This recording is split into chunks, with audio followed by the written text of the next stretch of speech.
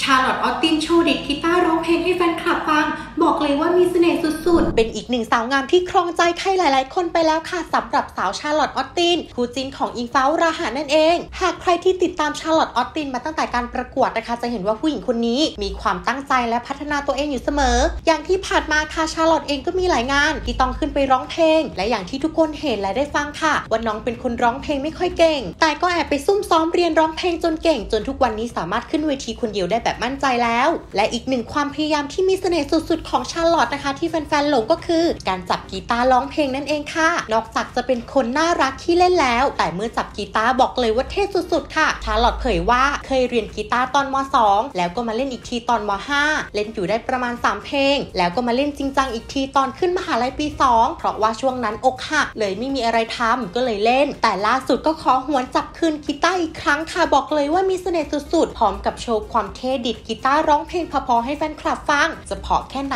ไปฟังกันเลยจ้าเมื่อวันเวลา ที่เคยสั่งสอนให้เราเข้าใจ มัน มันตัดสินให้ต้องลาฉันคงไม่โทษที่เธอไป เพราะว่าเข้าใจตลอด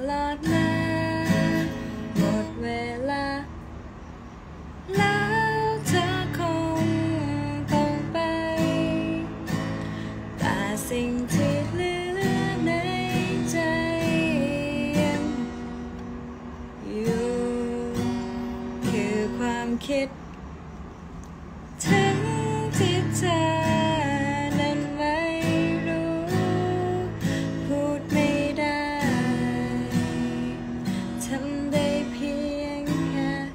ทำได้เพียงแค่คิดถึงเธอ